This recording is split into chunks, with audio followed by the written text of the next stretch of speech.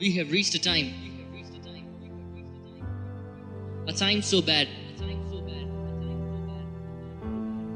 that we run looking for the perfect place.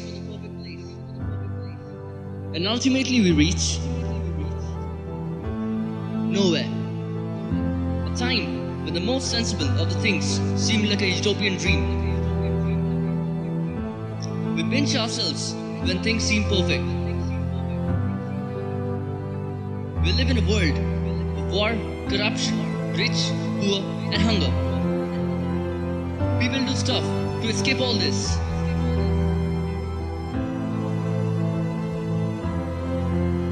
Because the doors, they're shut.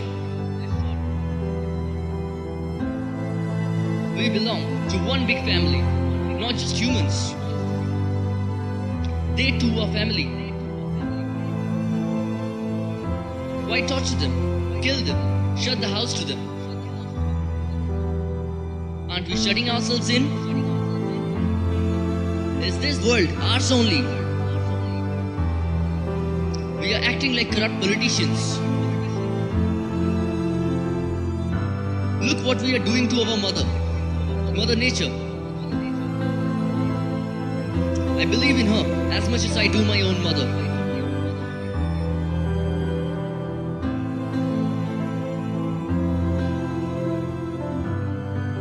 I trust her to put things right again.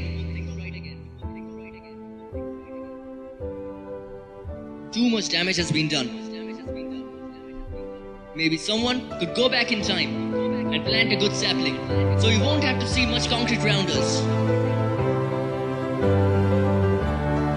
Why are the most sensible of all people least sensible? Let's all be one. It's simple math. Utopian dream, I don't have much. Live in a world where you're paid to do what you love.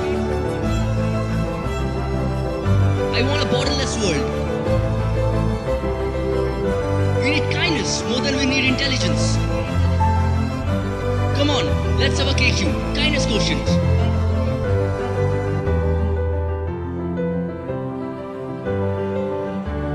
The list is actually pretty small.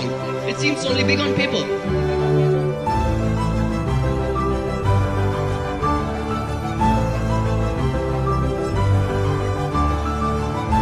Always wanted to meet Uday Rajan.